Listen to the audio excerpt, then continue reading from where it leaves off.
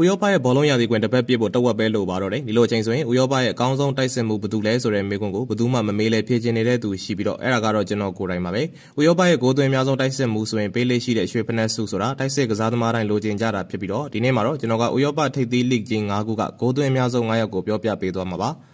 ဘွန်ဒက်စလီဂါဘက်ကိုအရင်ကြည့်ရရင်ခရစ်စတိုဖာအန်ကွန်ကူရှိပြီးတော့အရင်တုန်းကတော့လေဝမ်ဒေါစကီတောင်းကျမ်းခဲ့ရတဲ့မြေဖြစ်ခဲ့တာဖြစ်ပါတယ်။အရင်တုန်းကဒီလိဂ်မှာကြည့်လိုက်ရင်လေဝမ်ဒေါစကီကိုပဲတွေ့ရမှာဖြစ်ပြီးတော့အခုတော့အသစ်တစ်ယောက်နဲ့ဒီစုကပျော်ပါမဲ့ပုံမှာရှိနေပါတယ်။လေဝမ်ဒေါစကီကပြီးခဲ့တဲ့9နှစ်လုံးလုံးဘွန်ဒက်စလီဂါရွှေဖနက်စုကိုရခဲ့တာဖြစ်ပြီးတော့ဒီတစ်နှစ်တော့ထူးထူးခြားခြားဂျာမန်ဘောလုံးလောကမှာဘိုင်ယန်ကမဟုတ်တဲ့ကစားသမားတစ်ယောက်ကရွှေဖနက်စုအတွက်တစ်ပြေးနေခဲ့တာဖြစ်ပါတယ်။ RB Leipzig ကအန်ကွန်ကူကတော့ဒီနှစ်ရွှေဖနက်စုအတွက်12ဂိုးနဲ့တစ်ပြေးနေတာဖြစ်ပြီးတော့ဒီကောင်လေးကဒီတစ်နှစ်ရဲ့ဘွန်ဒက်စလီဂါရွှေဖနက်စုရှင်ဖြစ်နိုင်ခြေများနေပါတယ်။အသက်လေးကလည်း25နှစ်ပဲရှိသေးပြီးတော့ပြီးခဲ့တဲ့ရာသီကဂိုး20နဲ့ဖန်တီးမှု73ကြိမ်လုံနိုင်ခဲ့တာမို့လို့ဒီတနေ့လဲဒီထက်ပိုလုံနိုင်မလားကြည့်ရအောင်ပါပါအပြတ်မဲ့လေးတစ်ပိုင်းဖြစ်နေပြီဖြစ်တဲ့အန်ကွန်ကူကမကြခင်မှာပဲအပြတ်မဲ့လေးများစီပူပေါင်းအောင်မှာဆိုတော့ရွှေဖနက်စုကြီးနဲ့များတွားရောက်ပူပေါင်းအောင်မလားစောင့်ကြည့်ရမှာဖြစ်ပါတယ် စီးရီဘက်ကိုကြည့်ရင်လည်း12ဂိုးသွင်းထားတာကအများဆုံးပါပဲနာပိုလီကစပက်ဂက်တီရဲ့လမ်းပြမှုနဲ့အမြင့်ပြတ်တက်နေတာဖြစ်ပြီးတော့တိုက်စစ်မှုလေးဗစ်တာအော့စမင်ဟန်က12ဂိုးသွင်းပြီးစီးရီရဲ့ယာဒီဝက်ရွှေဖနက်စုရှင်ဖြစ်နေတာပဲဖြစ်ပါတယ်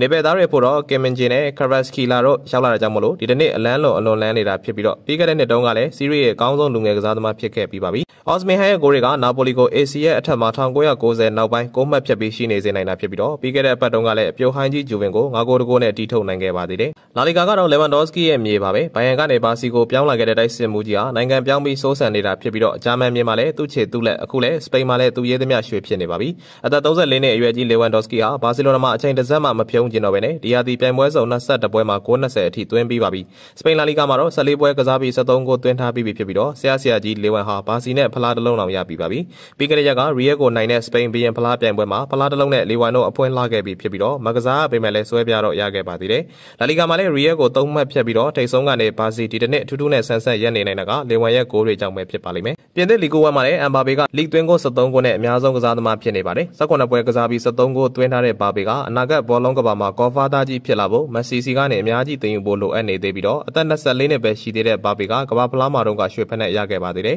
။ဒါအပြင်ကဘာဖလားဖိုင်နယ်မှာဟက်ထရစ်သွင်းနိုင်တဲ့ဒုတိယမြောက်ကစားသမားဖြစ်လာတဲ့လိမ့်နင်ကြလေးကလီဂိုဝမ်လိုလဲသမားလိဂ်ပါလေရွှေဖက်နဲ့နောက်တစ်ခုနဲ့လိဂ်ဆွဲပြတစ်ခုထည့်ရဖို့တော့ကျင်းတဲ့တလောက်နီးပါးရှိနေပါတယ်။မင်းသားဆိုတာနောက်ဆုံးမှလာတဲ့ဆိုသလိုပဲပြည်သက်အားပေးမှုအများဆုံးဖြစ်တဲ့ပရီးမီးယားလိဂ်ကလည်းအခုမှလာမှာပါ။ဘာလို့လဲဆိုတော့တယောက်တည်းက90ကျော်သွင်းထားတာဒီလိဂ်တစ်ခုပဲရှိလို့ပါ။ဟာလိုင်းရဲ့ပရီးမီးယားလိဂ်သွင်းကိုကလက်ရှိမှာ22ဂိုးဖြစ်ပြီးတော့ထိပ်သီးလိဂ်ကြီး9ခုမှာအများဆုံးပမာဏဖြစ်နေပါတယ်။ဟာလန်ကပရီးမီးယားလိဂ်90ပြည့်ဖို့14ပွဲပဲအချိန်ယူလိုက်ရပြီးတော့ပရီးမီးယားလိဂ်မှာ90အများဆုံးပြည့်တဲ့ကစားသမားဖြစ်လာခဲ့ပါတယ်။ဒုတိယနေရာကဂိမ်းကို6ဂိုးဖြတ်ပြီးတော့တယောက်တည်းဆက်ပြီးသွင်းနေသေးတယ်ဆိုပေမဲ့ပရီးမီးယားလိဂ်တွေမကဥရောပရဲ့ဂိုးသွင်းအများဆုံးကစားသမားဖြစ်လာဖို့လဲဟော်ဂိမ်းထုတ်ခံထားရတဲ့သူဖြစ်ပါတယ်။ဆိုတော့ဥရောပလိဂ်ကြီး9ခုမှာဂိုးအများဆုံးသွင်းထားနိုင်တဲ့သူကရာသီကုန်ရင်ဥရောပရဲ့ရွှေဖက်နှက်တော့ရမှာပါ။တကယ်ဝစ်လို့မရပေမဲ့လည်းဂုံတိတ်ခါရှိတဲ့ရွှေဖက်နှက်ကိုဘယ်သူရသွားမလဲဆိုတာလက်ကျန်ရာသီဝက်မှာကျွန်တော်တို့ဆက်လက်ရင်ခုန်လို့ရပါသေးကြောင်းပြောရင်းနဲ့ဒီနေ့တော့ဒီလောက်ပါပဲခင်ဗျာ။